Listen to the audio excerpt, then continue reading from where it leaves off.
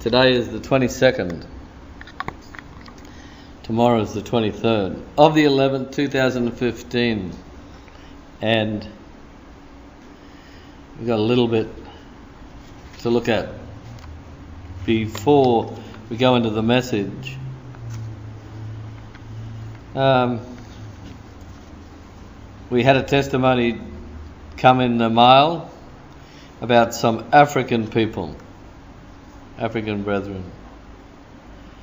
and came from Nigeria. And there's quite a bit to be said about this article. I mean, to the uh, untrained eye, it really just a letter, and there's not a lot in there, but to those who walk in the Spirit, there's so much in this one letter, even the timing. It's about people, this letter we got, who were readers and then become and desired and, and, and want to be doers. There was 220 of these African university students um, go down to the library, gather together, and get on our website, fireandhammer.com, and have a read. And I thought it was great and all that, but none of them took it to heart. But miraculously and mysteriously, they'd still go back and read. Because the Lord knew and knows all things, He knew the day would come when there would be a shakedown, and it was when their eight friends were cold, uh, killed in cold blood by Sudanese people. And uh, testimony of our website, fireandhammer.com, goes like this. They said that. Uh, our website, and, the message on our website is powerful, undiluted, uncommon, undeniable, unfailing, unavoidable message of God. Well, I don't think I could give our message and, and our teaching and theology, I don't think I could add to that really. I think they've nailed it there. And uh, I received this letter out of my mailbox on the 19th of the 11th. On the 18th of the 11th, we had teaching here at the fellowship, and I ministered on my word. As Jeremiah said, Jeremiah 23 29, the Lord says, My word is a fire and a hammer. And they've been tasting and reading of the Fire and Hammer, fireandhammer.com. And then they realize, hey, we better start doing something about our position. The Lord allowed eight friends to die without Christ, that he may save 220. And this 220 said in the letter. Because of the death of our eight friends, 220 of us have now completely surrendered our lives to Christ. We now remember all that we read on fireandhammer.com. See, we don't labour in vain. We, we must be patient. We, we must leave everything in the Lord's hands.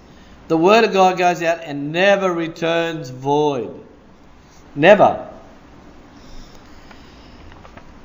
They said, we are, Brother, we have seen our friends die without Christ. 220 of us, we want to make it to heaven. And then they gave a description of the position of these 220. It says that in the letter, it says that, brother, you see, 220 of us were one once either backsliders, churchgoers, drunkards, humanizers, idol worshippers, Muslim, or members of secret cults. I mean, that's a vast collection, isn't it? But the one and same word ministered to them all. Hey. As they said here in, the, in their letter, we don't want to die like our friends without Christ. We were readers for some time now, but we were only reading. None of us had ever decided to give our lives to Christ. But then something serious happened, and the, that was the eight friends who were murdered in cold blood, obviously for no reason at all. The fear of God came. And God works in mysterious ways. And the Lord knows the heart. I think the most powerful happening with this letter is it was written on the 20th of the 5th, 2015. But I received it on the 19th of the 11th, 2015. On the 18th of the 11th, 2015, I was ministering about the my word, the, the word of God as a fire and a hammer. And if you go back to that message and listen to what I said, I believe it would just about equal what they said about fireandhammer.com, our website. Powerful, undiluted, uncommon, undeniable, unfailing, unavoidable, true message of God. And the message that I was ministering on Wednesday was actually a message I had written in 2004. So you got quite a few dates here. The actual message, my word, I penned in 2004. They wrote me a letter in the 20th of the 5th, 2015. I preached the message on my word again on the 18th of the 11th. And then I went to my mailbox and got my mail on the 19th of the 11th. And when I took the mail out of the box, I seen it had the international stamps and everything on it from Nigeria. I opened it. I had a speed read very quick, and I just seen a, a few paragraphs. About 220 of us decided to give our lives to the Lord because of what's written on your website, because the Lord led us there. And I gave it to the young lady that was at the mail centre, and I said, Have a read of that. I asked this young lady if she knew God, and she said yes. I said, What God are you talking about? She said, Jesus. I said, Right, we got a starting point here. You obviously a believer, but you haven't been a receiver. Bit like the 220 Africans, and it overflowed onto this one girl, this letter. And then I introduced her to the Lord, and she asked the Lord. There was no problem with her when I asked her, Do you believe that you're a sinner? She said, Yes, I am a sinner. Would you like to be forgiven of all, every single one of your sins, and be cleansed? Yes, I would. And we prayed. And it was that day that the boss wasn't there. So there was no interruption of anyone. It was just one on one, and the glory of the Lord fell.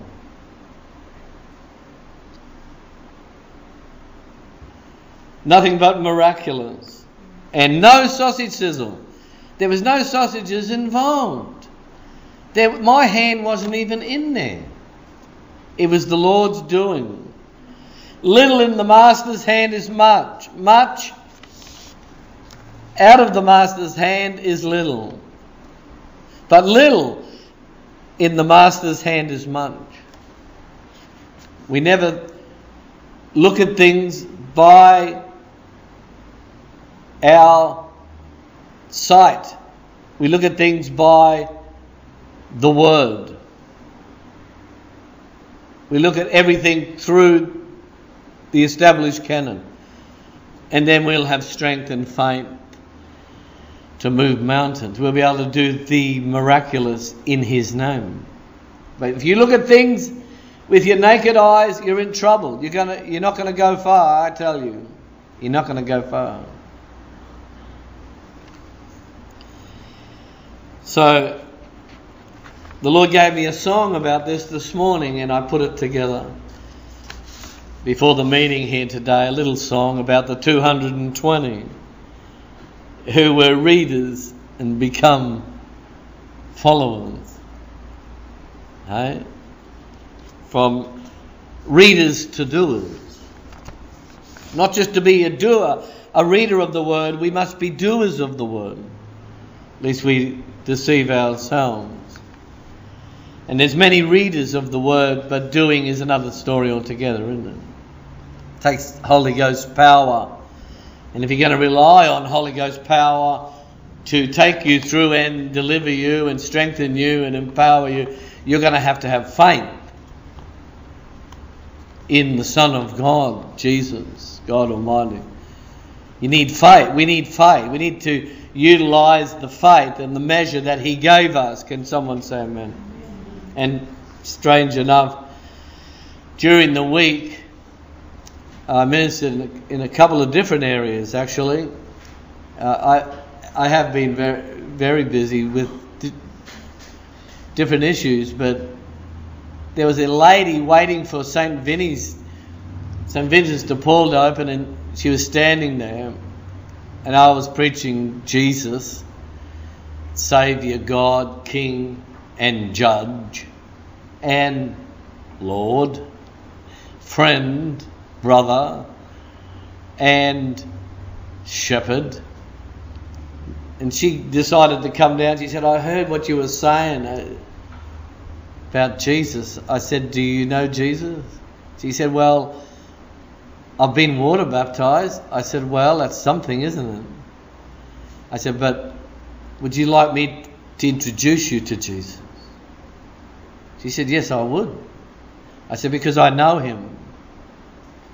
I said, Do you believe you're a sinner? She said, Yes. I said, Well, we can pray now. We'd ask the Lord. And when we started to pray, her, it's like her tongue was tied up in her head. It was the powers of darkness hindering her. She said, uh, I said, What? hang on, hang on, hold it.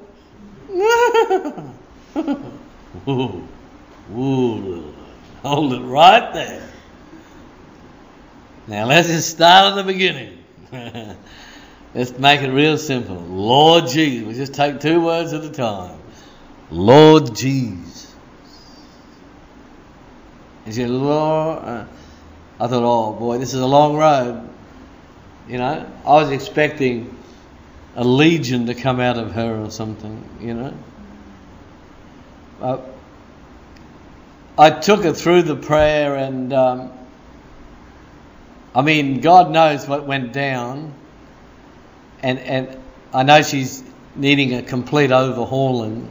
You know, the chassis rusted and the motor's well, just about finished. There, there, there has to be a genuine and bona fide uh, confession. We confess with the mouth and believe in the heart. See. Um, Father raised Jesus from the dead by the power of the Holy Ghost. We, we shall be saved. Confess with the mouth uh, unto salvation. We confess with the mouth to salvation. Believe in the heart unto righteousness that Father raised Jesus from the dead by Holy Ghost power. You you will be saved. And then there's being saved, and then there's saved to the uttermost. But strange how it was unusual.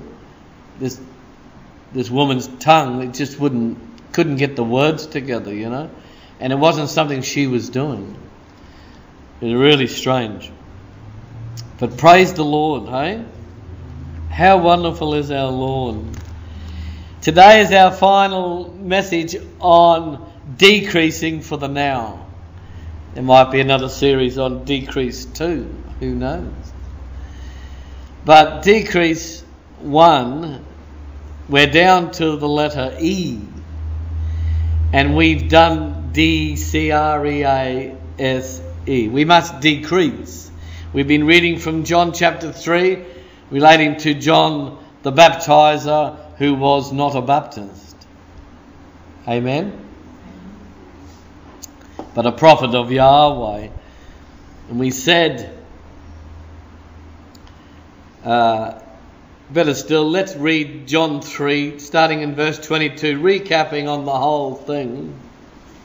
After these things, Jesus and his disciples came into the land of Judea, and there he remained with them and baptized. Now, John also was baptizing in Aenon near Salem because there was much water there, and they came and were baptized. And John had not yet been thrown into prison. Then there arose a dispute between some of John's disciples and the Jews about purification. And they came to John and said to him, Rabbi, we he who was with you beyond the Jordan, to whom you have testified, behold, he is baptizing, and all are coming to him. John 3 27. John answered and said, A man can receive nothing unless it has been given to him from above. You yourselves be you yourselves bear, bear me witness that I said I am not the Christ, but I have been sent before him. He who has the bride is the bridegroom, and the friend of the bridegroom who stands hears him, rejoices greatly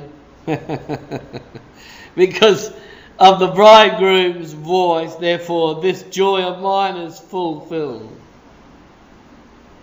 He must increase, I must decrease.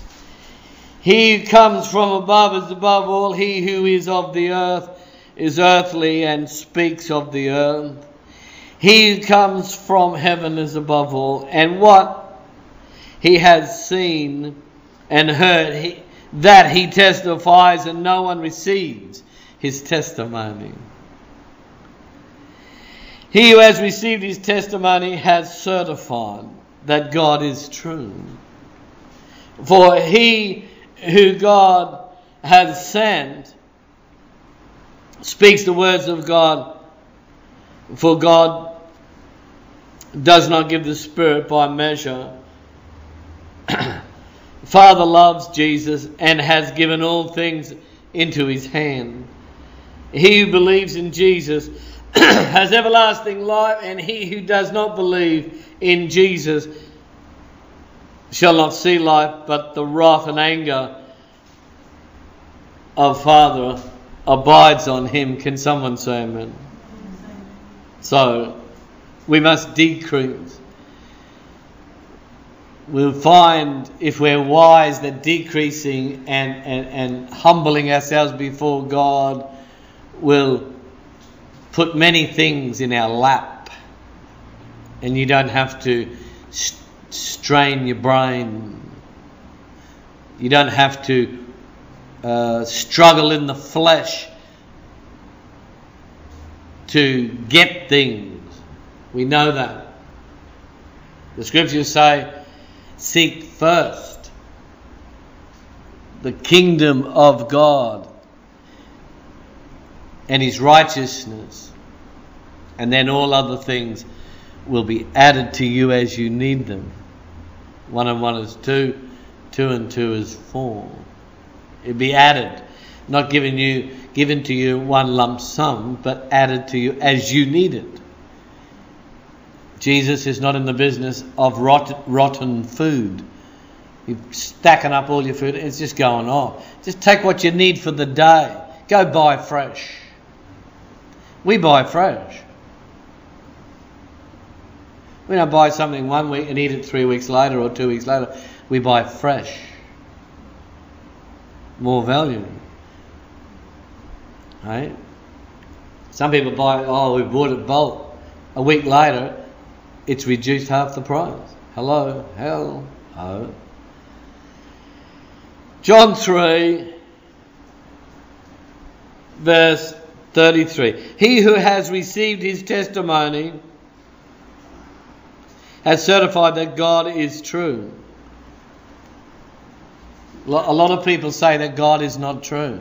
Jehovah Witnesses, they don't say God is true. They don't receive Jesus' testimony. They don't receive John the Baptist's testimony. The, most of the Jews don't receive John the Baptist's testimony or Jesus' testimony. They say God is a liar.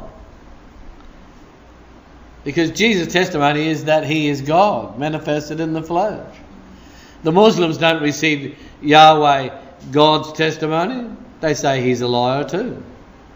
Because they say that Jesus is just a prophet. He's only a man. He, uh, good teacher. Even the Asian religions, the Baha'i and Buddha and all them, they don't receive Jesus' testimony. They think he's one of the masters. They number him with the masters. Now he is the master of all ceremonies. Hallelujah. He is the master, undisputed champion of the universes, plural. Aye? Glory to the Lamb.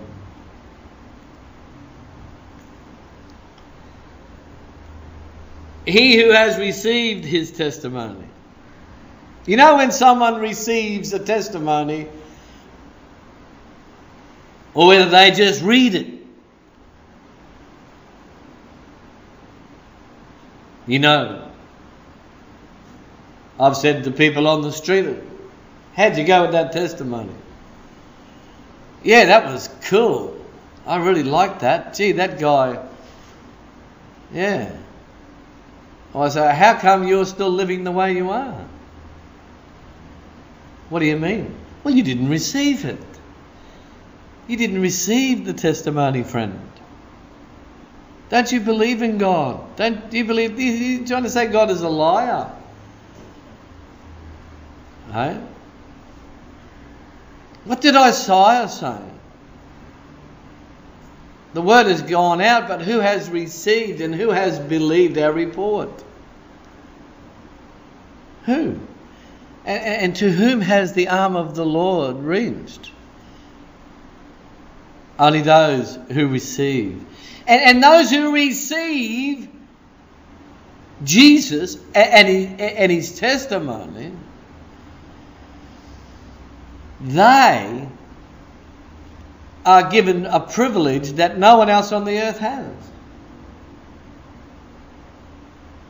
No one. Not even church people. Church ministers don't even have this privilege. Those who received every single word of Jesus John the Baptist, Paul, Peter, Matthew, Mark, Luke, and John. Every single word. You can't go just cherry picking. He'll give them the opportunity to become sons of the Most High God. Can someone say amen? Those who receive Him and receive, and those who receive the Lord Jesus' testimony, ultimately what happens is he becomes their testimony. And that's how they overcome by the word of their testimony. And if you have a testimony without Jesus as the, the main dish and the hero of the dish, If you have a testimony and Jesus is not the theme and the preeminent in it, you, your testimony is not worth a dry biscuit. Your testimony is nothing. And what he has seen and heard, that he testifies, and no one receives his testimony. That's another way of saying a remnant per capita worldwide. He who has received his testimony has certified that Father is true.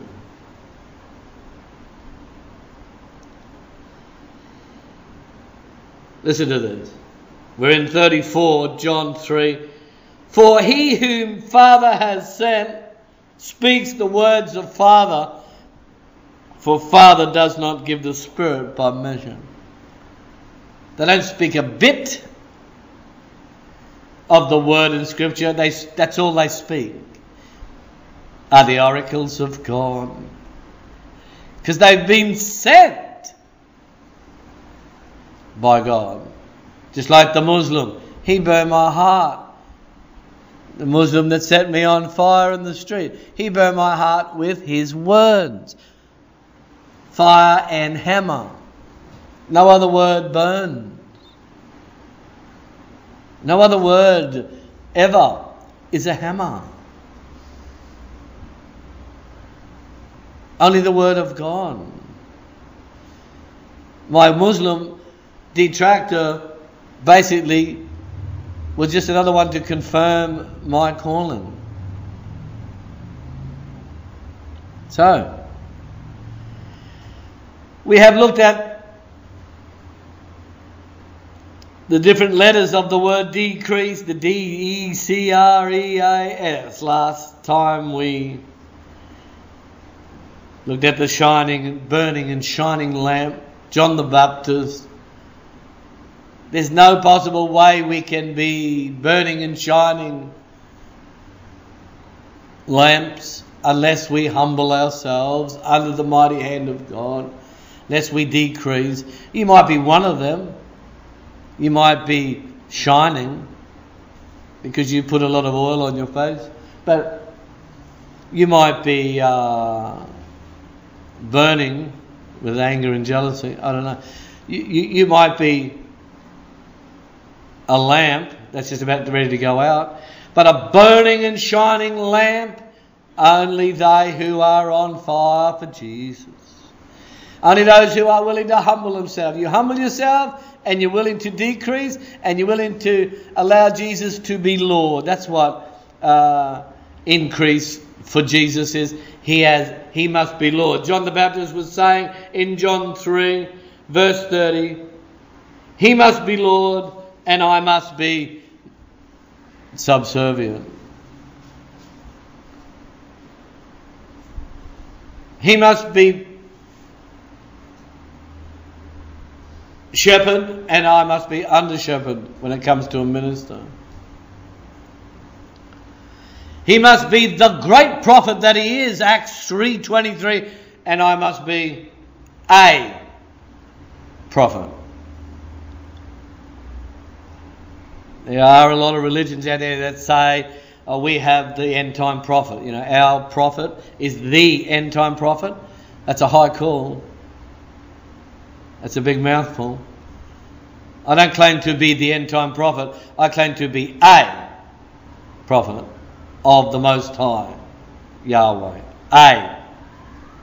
Unlike the Mormons and Joseph Smith, Seven Day Adventists and E.G. White, Worldwide Church of God, and Armstrong, Herbert Armstrong, JWs and Taz, Manian Devil, I mean Taze Russell, Taze Charles Russell. They all seem to think that their leader is the end time prophet. Filipino Iglesias de Cristo, they think that their leader is the end time prophet.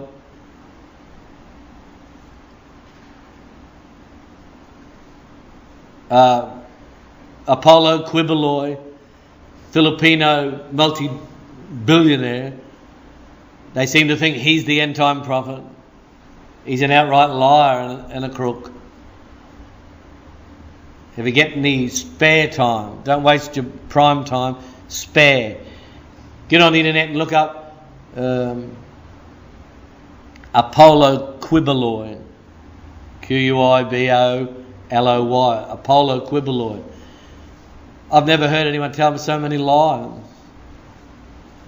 I mean, and they're just blatant lies that a babe in Christ could see if they weren't under some sort of a demonic spell.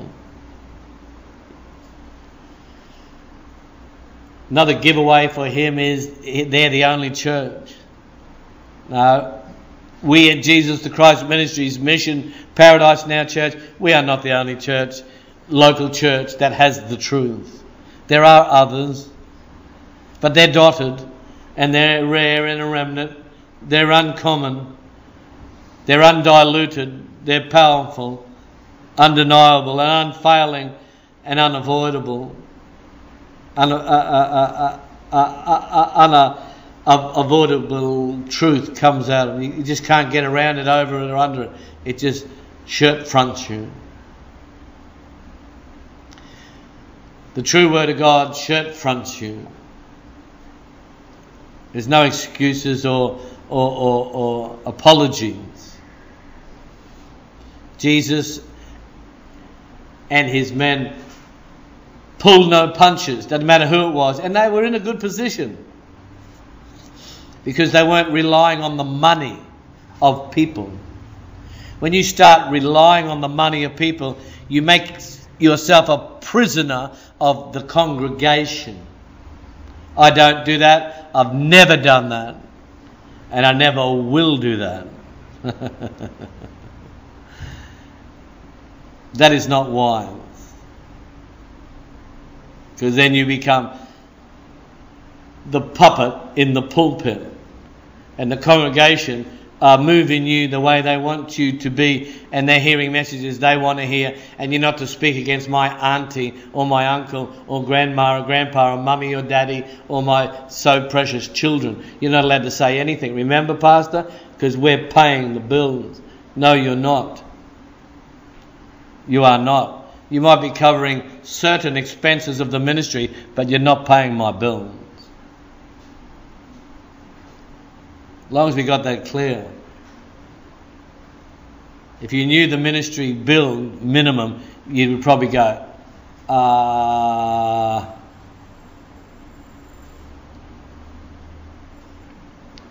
I'd like people to know that. As I've said for many years, the preacher preaches the gospel, he should make a living. A living. That means everything covered. Is that right? Someone say amen. No, I've never done that. I've never been able to do that. I've made a sandwich, but I've never made a living or a killing. You should be rejoicing about that. Eh? I feel sad for the rest because they corner themselves. Most pastors in the churches of the world today, they've cornered themselves in a corner. And if that congregation turns nasty, they're, they're finished. Uh, the Lord is good. And that's why the disciples of Jesus and the true prophets they didn't make themselves or put themselves in a position where they had to upkeep great financial debt. They had what they stood up in. They had nothing. Glory to the Lamb. So let's go into our last letter in the uh, decrease. In the decrease message. On the decrease. The D was for delighting ourselves in the Lord. That's how you know someone's decreasing. They're delighting themselves in the Lord. They're not struggling and whinging. Oh, oh I've got to pray, have I? Oh, I've got, I've got to give an offering, have I? Oh, I've got to go to church, have I? You look, you don't have to do anything. You just reap what you sow. And if you're a slacker, you're just going to reap a slacker's reward. Hello, hell. E, exalted by God. You won't have to even worry yourself. You know, people go to a lot of extent gathering credentials, gathering qualifications so they can exalt themselves. Be someone. Be accepted by the multitudes. But when you humble yourself under the mighty hand of God and under His word and you decide, I'm going to decrease, you're going to be Lord from here on in. He'll exalt you miraculously above all. He will exalt you. And you won't be hoodwinked by the daily carry on of religions and, and, and scaremonger tactics about antichrist and one world governments and this is going to happen and that is going to happen because you don't count your life dear to you anymore. Whether in much or little, you're content. Then we looked at the C. There was a culling going on in 216, uh, 2 Corinthians 6, 11 to 18. All different sorts of happenings there because you decide to humble yourself and walk in the Word. All kinds of happenings. And you can't walk with certain people. You just can't do it because you're grieving the Spirit with Him. When you're grieving, you're not growing. You're not growing in the Spirit when you're grieving the Spirit. Someone say Amen. Then we moved into the R was for rejoicing in the Lord. And then we looked at Psalm 29, verse 9. Those in the tabernacle of the Lord, those who are right with God, they're forever saying, Glory, glory, ah, glory. That's all they ever say. Oh, look what's happened. Someone died. Glory. Oh, look. Ten people have left your fellowship. Glory. Oh, oh what's happened? Look, they've, they've ripped you off. Glory. oh, they don't like you anymore. Glory. Oh, look, look, uh, your husband has left you. Glory. Oh, look, your wife has left you. Glory. Oh, look, your son, children have turned on you. Glory. Oh, look, there's nothing in the offering. Glory. Oh, oh, look, they're all gossiping about you. Glory. Glory. Glory.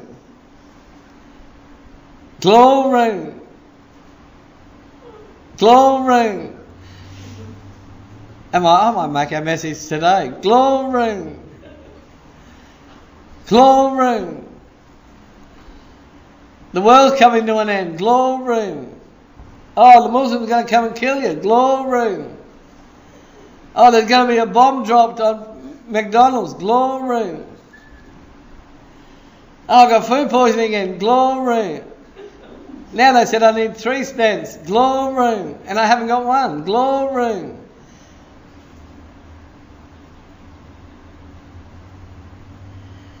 And then we moved on to E for enemy. Number one enemy of the devil, number one enemy of the old man. You become number one enemy of you when you humble yourself, or the old you. That was in the E, the D C R E. We looked at Zechariah 3 1 to 5, where the devil came to the right hand of Joshua the high priest he had been uh, playing up and in sin or whatever, and he was filthy garments, type of filthy garments.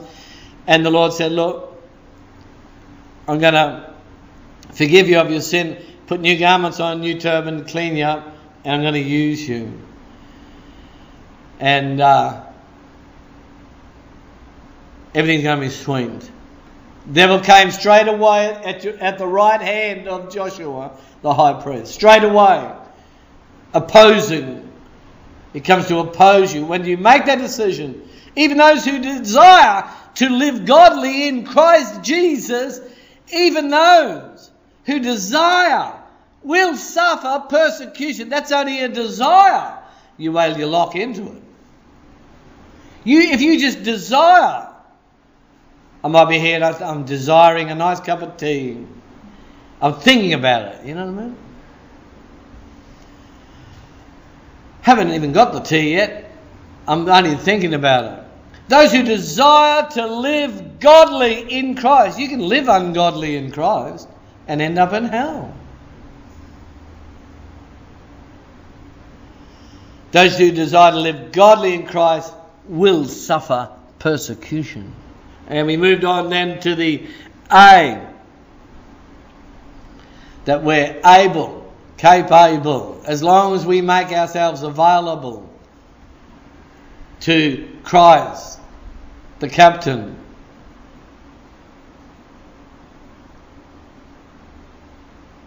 Able to do all things through him. But not if, if we don't make ourselves available, we'll never be capable. Because we're not able to do anything on our own. Without Him, I can do nothing. Unless it's been given to us from above. We don't have it. It's all coming from above, isn't it? On the decrease, the DCR EAS last week was the shining John 5:31 burning and shining lamp trimming the the wicks plenty of oil going on with the Lord not with an attitude of oh the master won't be come for ages I'll eat drink and be merry and you know no no he can come any time of the day or night especially now. Fine. Even while I'm preaching this message, it could come like that. And today we got the E, D C R E A S E, decrease. E. And we're going to go to the writings of John 9 to get our letter E.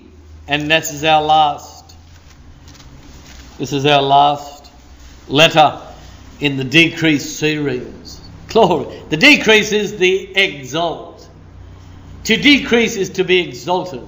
We humble ourselves on the mighty hand of God, we shall be exalted in due season. Above our sin, above the, the, the, the wiles of the devil, above our selfishness, above our, our past and our doubt and our fear and, and all our lamentations. He'll exalt us above, and we'll get a revelation. I'm seated in heavenly places with Him. I see Jesus standing at Father's right hand. So be it. Do what you're going to do to me. Make it quick because I'm just about to go and smoke home. Hallelujah! Look, tea's getting cold. Woo! John 9, Shimare. Oh, Oh, Jacaranda. Oh, oh, Bougainvillea. Bougainvillea. John. Clover. Clover. Clover. John 9 13. They brought him who formerly was blind to the Pharisees now it was a Sabbath when Jesus made the clay and opened his eyes, and then the Pharisees also asked him again how he had received his sight, and he said to them, He put clay on my eyes, and I watch and I see. Therefore, some of the Pharisees said, This man is not from God, because he does not keep the Sabbath. These Pharisees were seven day Adventists. Others said, How can a man who is a sinner do such things. And there was a division among them.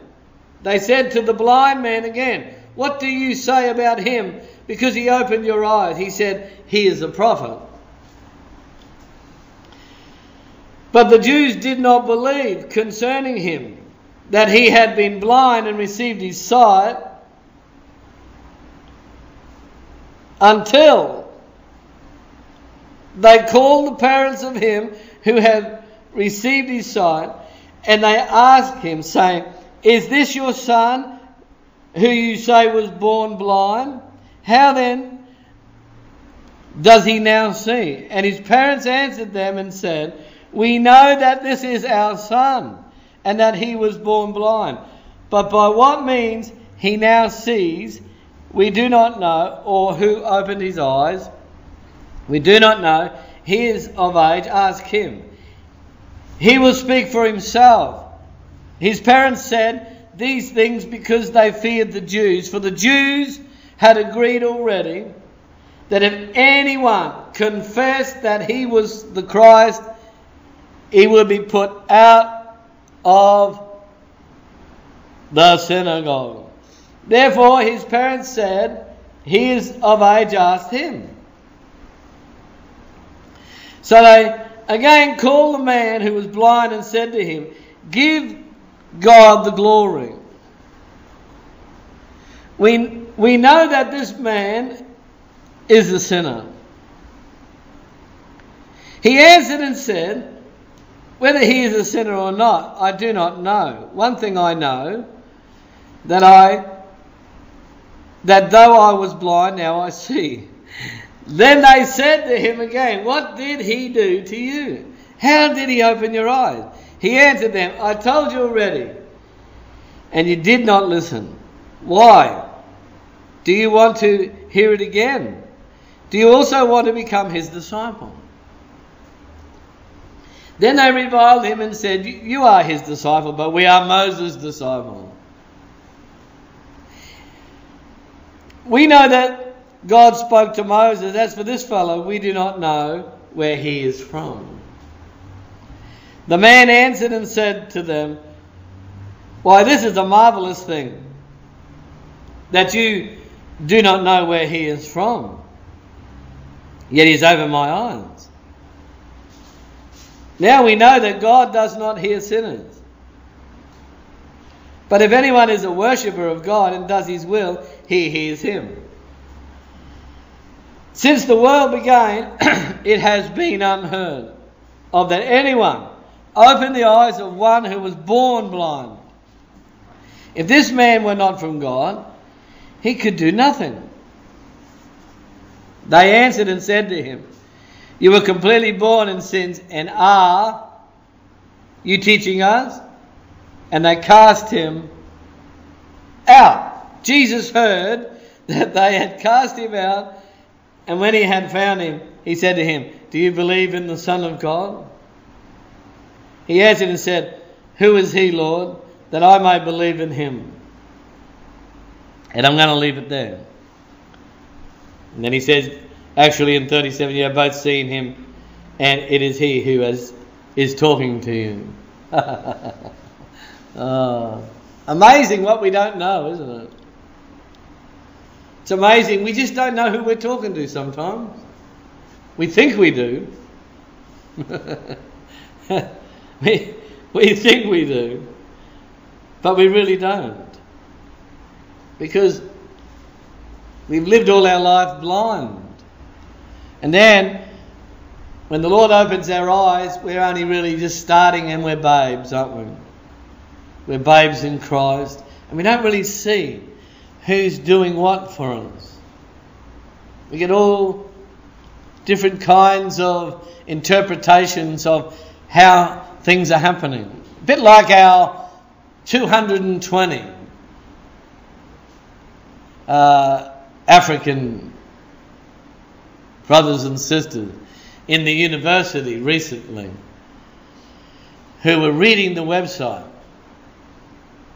and fireandhammer.com reading and reading and never doing. But then the lord thought i'll give a bit of a jolt. I'll give him i'll just give him a bit of um, a celestial tasering Eight of our friends have died. Shock horror. And they didn't know Jesus either. Shock horror. I think it's time we sorted things out with Jesus. A real fire and a hammer thing, wouldn't it? Because that's the website they were on. And then they decided to speak the truth, testify of the message of fire and hammer, which was powerful, undiluted, uncommon, undeniable, unfailing, and unavoidable. Unavoidable truth. Can't get around. Hey? And there'll be a lot of things happening over there in uh, Nigeria at the university right now and in those ones' lives. And then we want to know who is this that you claim to follow now? Who, what is this teaching? We have never heard of it before. We, we, we know about Benny Hinn and Joyce Meyer, but who is this riffraff from Australia with his fireandhammer.com who doesn't preach tithing and who doesn't preach uh, peddling the word and, and doesn't sell his books and literature and CDs and DVDs and, and, and uh, doesn't collect monies to build synagogues and buildings and, and, and luxury houses. Who is this fellow? I've never heard of him. He must be a sinner. hey? Dear, oh dear, oh dear. And here he was, this young man. A bit of, a bit of mud, a bit of clay. John 9, 11. And he answered and said, A man called Jesus. Whew, that's so simple, isn't it?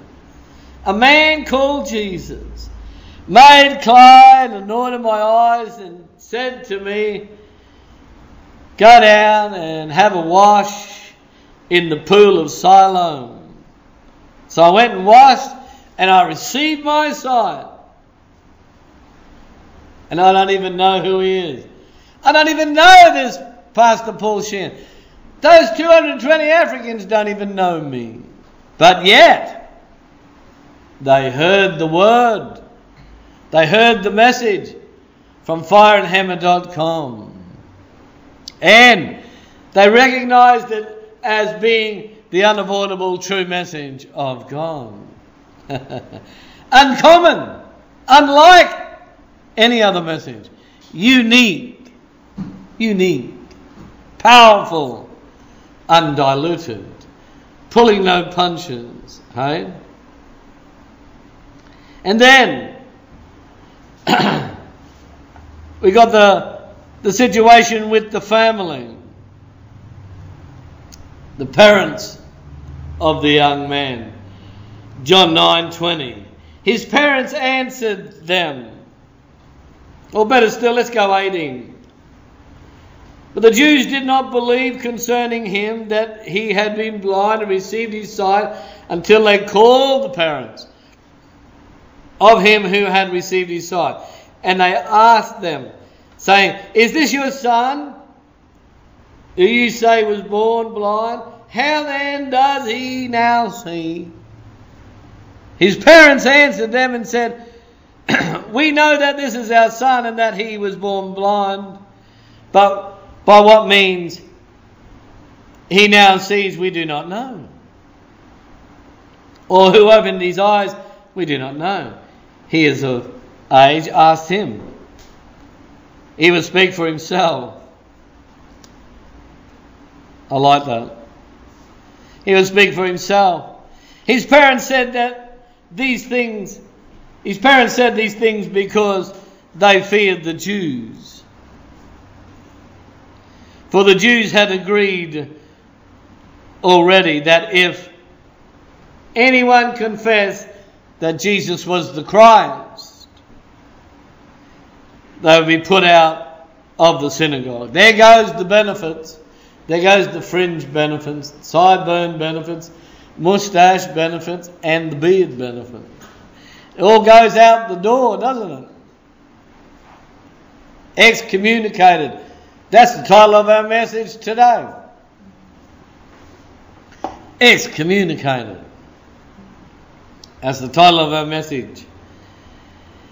When we start to decrease, when we start to humble ourselves under the mighty hand of God and receive the word, excommunication is going to come.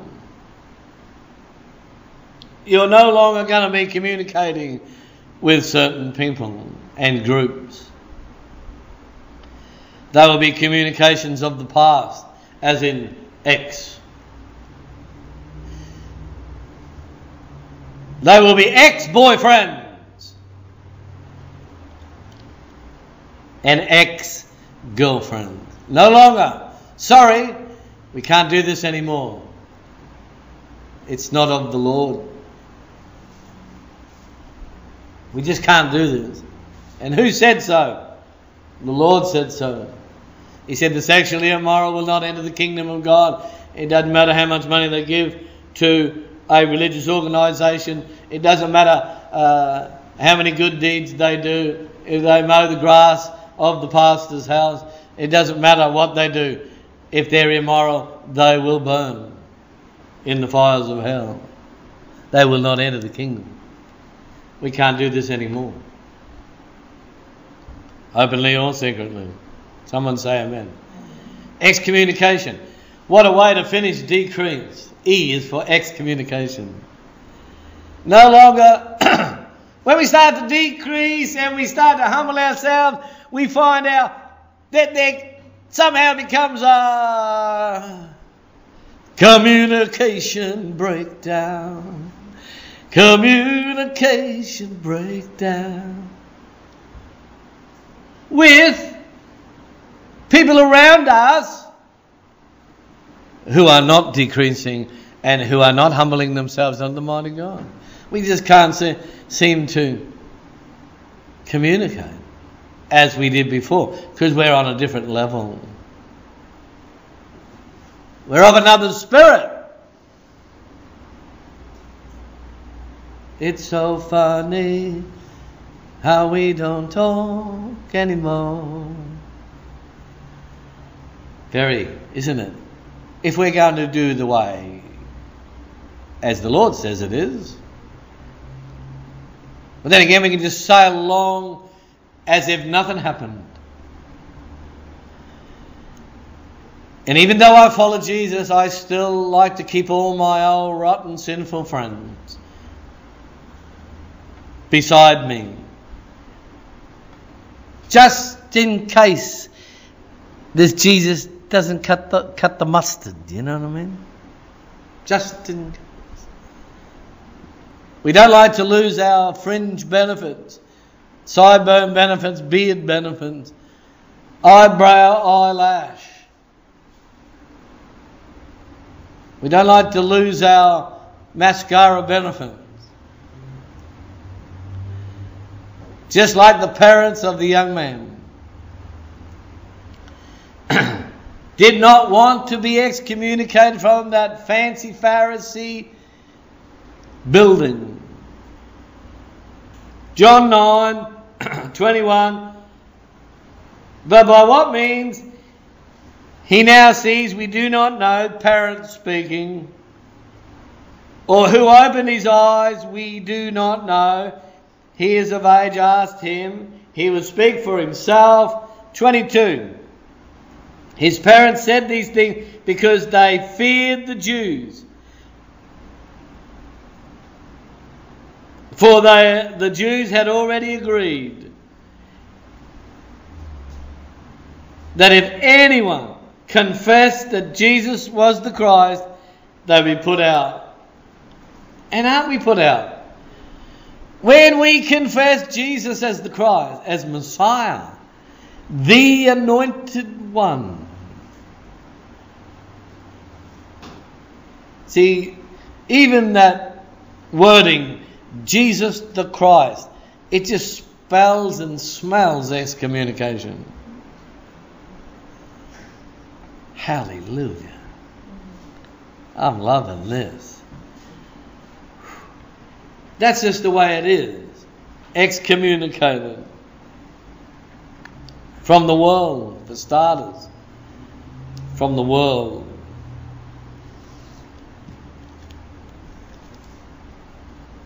1 John, can we go there, please? 1 John. It's so funny how we don't talk anymore. 1 John 4 4 Go, go, mobile. Geo, geo. Go, go. 1 John 4 4 You are of God, little children, and have overcome them, because he who is in you is greater than he who is in the world. They, they are of the world. 1 John 4 5. Therefore, they speak as of the world, and the world hears them. We are of God. He who knows God hears us. He who is not of God does not want to hear us. And by this we know the spirit of truth and the spirit of error. If a person has a spirit of error, they will not listen to you. If a person is led by the spirit of the devil, he's the spirit of error. The Bible calls him the liar. He's a liar from the beginning.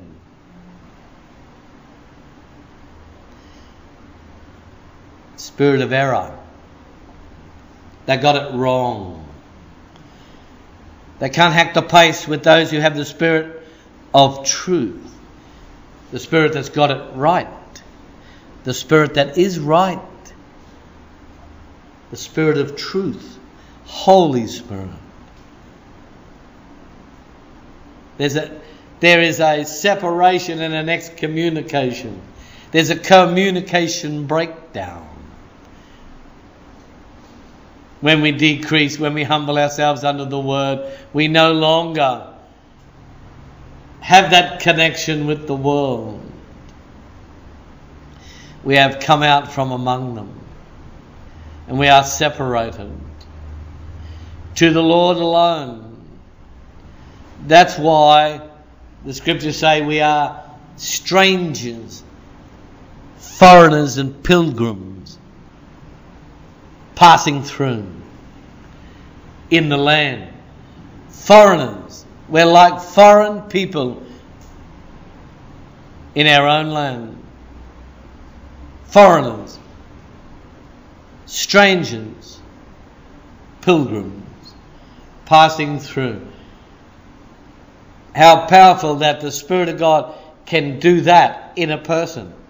But I'm Australian. But I was born of uh, uh, uh, of a certain race and tradition and culture, but I have become like a stranger to them. Because now you're born of another family. And only those on the decrease and those who are humble enough will accept that and go with it and realize wherever we are, there's going to be a communication breakdown with the, those who are of the spirit of error. And how many have the spirit of truth? Only a remnant.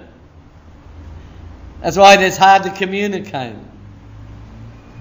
There's a spirit of error interrupting, usually with a but. But, but, but, no, no buts about it. Jesus said it, I believe it, that's it. I don't care what you say, I don't care what the multitude say, I don't care what the government says, I don't care what the world says.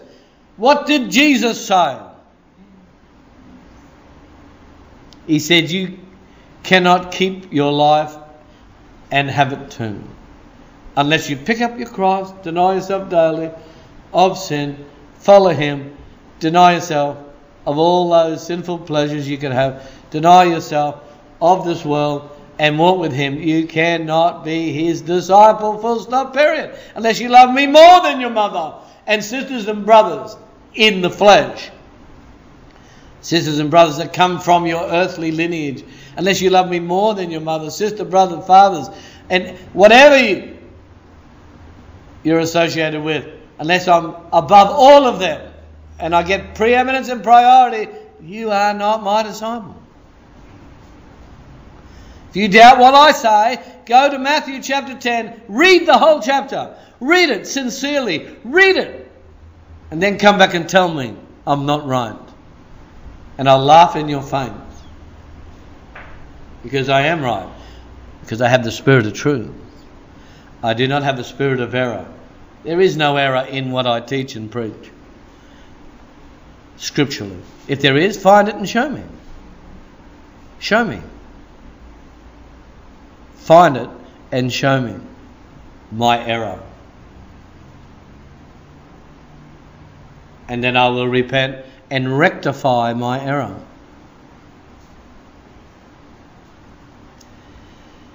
Because it would have been done unintentionally. If there is, show me the error. And if you can't show me error, and you say that it is error, and we find out it's not error, well, you're going to have to eat humble pie. You will have to decrease, won't you? and then you can make a decrease offering.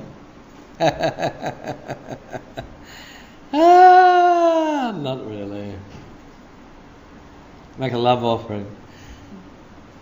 Yeah. Excommunicated. This is exalted 9. Last week was exalted 8. Exalted 9. Excommunicated. Excommunicated from friends. Right? Excommunicated even from your job, maybe. If called for. That's a cruncher. I mean, that's steak on the plate, isn't it? The job thingy. Uh-uh, don't want to do that. Oh, so your job's worth more than Jesus. And you don't even believe Jesus, that he can get you another job with better pay, better conditions. You're just a slave to your job, are you? Are you bound up? Oh, no, I have to work. No, you don't. You just tell them you're not going to work. They say, well, we don't need you anymore. You say, well, I don't need you anymore. Bye. See ya. God bless. I'll be praying for you. And the Lord will look down and he'll see. Oh, he can't see that far. He can't see that. He didn't know you done that for him. Of course he does. He knows the heart. He knows you better than you know you. You know what I mean? He knows everything. He's omniscient. There's those sideburn benefits again, those beard benefits.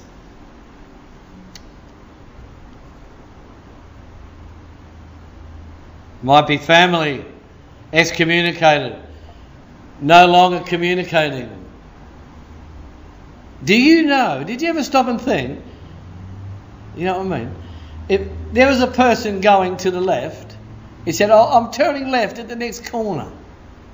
He said, Okay. I'm actually turning right. Are you coming with me? No. I'm turning left, and that road is called straight.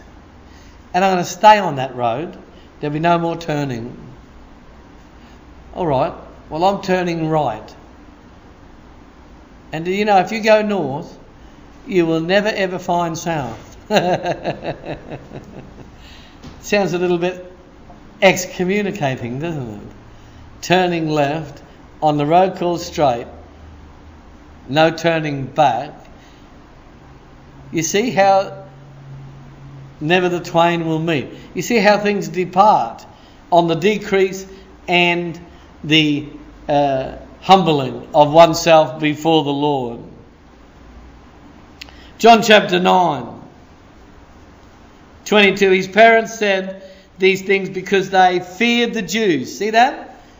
That's why people don't do these things because they're full of fear. Oh, not my job. Oh no, not my my friends. Oh no, not my my my my not my, uh, not my religion. As one man said to me, I can't go on anymore. I can't cope. Paul, I'm not giving up my religion for anything.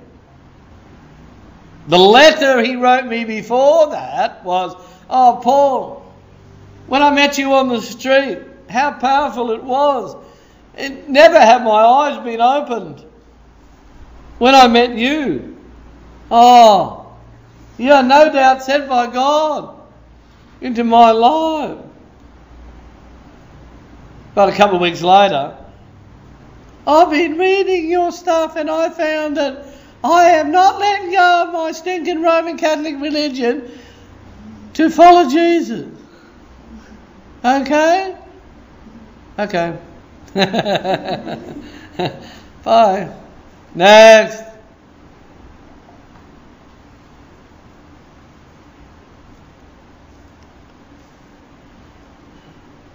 Fear of the unknown. If I know anything about walking with Jesus, I would call it the unknown walk. Because you don't know. I don't know about tomorrow. It may bring me poverty. But the one who feeds the sparrow is the one who cares for me. I don't know about tomorrow. I, I, I know him, but I know Elohim. And that's everything. To know him, don't glory in your wisdom or strength or power or riches. Glory in that you know me, says the Lord, and that you understand me. Hallelujah. That I am He who goes throughout the earth and I relish in and delight myself in judgment, righteousness, and loving kindness. Glory. Hallelujah. Right?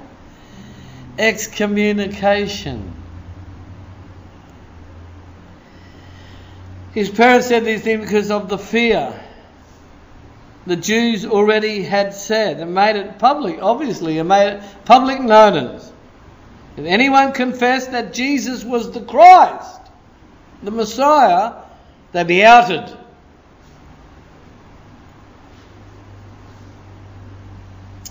Verse 23, John 9, therefore his parents said, He's of age, asked him. How cunning's that? See? He's of age, asked him. So they called on the man, asked him again. Right? And then, verse 27, John 9. He answered them, I told you already, and you did not listen. Why do you want to hear it again? Do you also want to become his disciple? Do you see that? the moment, the moment that the Lord touched that man, he became a disciple. But yet you got churches today, they got disciple schools, they got disciples this and disciples that. You know, the moment that you receive Jesus. We know this young man received Jesus, even though he just know that his name, all he knew was his name was Jesus. But he received him and he was prepared to follow him because he received him. He said, I'm going to be one of his followers. I'm going to be a disciple of his. Do you, well, you keep asking me the same question. Do you want to become one of his disciples too? And then the Pharisees blurted out the truth. The Word of God exposed the Pharisees for who they really were. Hey? John 9, verse 28. Then they revealed reviled him and said, You are his disciple, we are Moses' disciple. People love to follow the dead, don't they? I love the dead. They love to follow the dead. People love to drink blood, don't they? They love necromancy. They, they love to scull the blood and eat the gizzards and yeah. Like vampires, that's with the B. Like the vampire. That's B A M B I R N. A vampire. They love to follow the dead, don't they? So the Roman Catholics, they love to follow that dead Mary. When you're dead, you're dead. We don't follow a dead Jesus. He's alive. The stone was rolled away. He's alive. He's no longer where he lay. He's alive. Let all the people say. Let all the people sing. Let all the people rejoice that Jesus is alive. We follow a living God. Yeah, the old Buddhists, they follow some dead God, you know. Oh, he's dead now. Muhammad's dead now. How can you follow him? He's dead. We follow the living Jesus, alive and living. Muslims follow a dead prophet. We follow a living prophet. We follow the great prophet, Acts 3:23. The one that Moses spoke about himself and said, if you don't listen to him, the great prophet, Jesus the Christ, you'll be utterly destroyed. In other words, you'll end up in hell.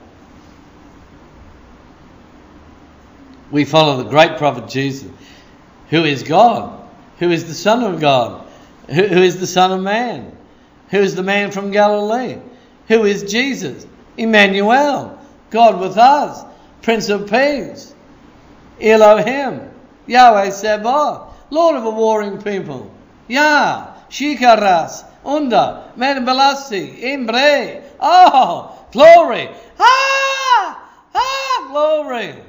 Glory! Glory! Glory! Glory! Excommunicated from all the muck and the rot and the filth and the grime of time. Excommunicated, set free to take the left hand turn onto the narrow road, never leaving, knowing that if we go left, we'll never find the right. It'll be just straight all the way on the narrow road to glory. Because if we turn left, we know it's the right way. We go down the straight road. We don't go the other way. You can't go in two directions at the same time. You cannot walk in two directions at the same time. You cannot say, hey, yeah, I love Jesus and I, follow Jesus, and, you're living in sin. You're not following Jesus and you don't love Jesus. You're self deceived. Probably twice dead, pulled up by the roots, clouds without rain. Someone say amen. A message to excommunicated, even from the community. Hey? Even from the community, from day one, the moment you decide to humble yourself under the mighty hand of God, you will be persecuted. But you will be exalted within. You'll be exalted by God, and, and He will empower you. As 1 John 4 4 to 6 said, that you have overcome, little children. We are overcomers, and more than overcomers through Christ. But the world is still wrestling. They're, they're still struggling. They're still in the flesh. They're, they're, they're wandering around in darkness with the spirit of error. They're confused. They're, they're like punch drunk punks. boom, boom. The devil just keeps pounding them. Oh. Uh. Pounding them day after day. and uh, uh, they're just like, uh, which way do we go now? Oh, try it over here. Have a, have a go at this. I'm soul searching. finished. It's all finished in Christ when we decide to decrease, humble ourselves in the mighty hand of God that He may be the one that exalts us, not ourselves. He will exalt you.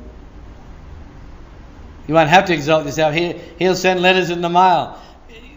And they'll say, hey, there's 220 of us. The fear of God come on us. Hallelujah.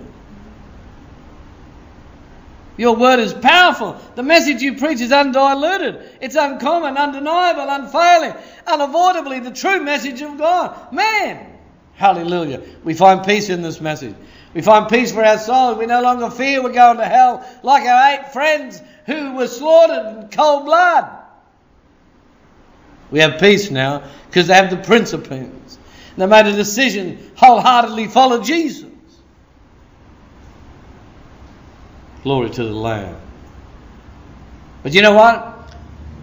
Fireandhammer.com would never be there, never be available. And all the messages on there and the teaching would never be available unless 28 and a half years ago I said, Lord, I want to decrease. I'm going to humble myself under your word. Come hell or high water, no matter what happens, whether they set me on fire in the street, beat me, spit on me, take me to court, laugh at me, mock me, dis, depart from me, slander me, when I get nothing in the offering, it doesn't matter. It's all about you, Jesus. You, you are Lord from here on in. And what's the result? Just in one hit, bang, 220 souls. Since last uh, Thursday, 4,000. That message has reached about the 220 Africans. It's reached 4,000 people in three days. 4,000. I tell you, that beats sausage sizzles. And it beats letterboxing too. By the power of the Spirit of truth. And people can jump up and down, say what they like. I know it's the truth. Because I know one thing about the truth that error doesn't do. It don't set you free from known sin. Truth sets you free from known sin. On faith obedience. But the truth is only ever the truth. If you don't apply it to your life, you might as well not have the truth. Just keep going around that same old circle. Disappointed, dismayed, fearful, bound, by fringe benefits and what people think of you, expectations of men and women and religions. But when Jesus comes, when Jesus comes, the tempter's power is broken. When Jesus comes, the devil he must flee. When Jesus comes, the people shout the victory. When Jesus comes, when he arrives, the devil he must flee. When Jesus comes, when Jesus comes, when you speak that word, of Jesus. Jesus says, I'm as near as my word is near. And my word is here. Everybody said, so I have a message today excommunication. Communication breakdown. Communication breakdown.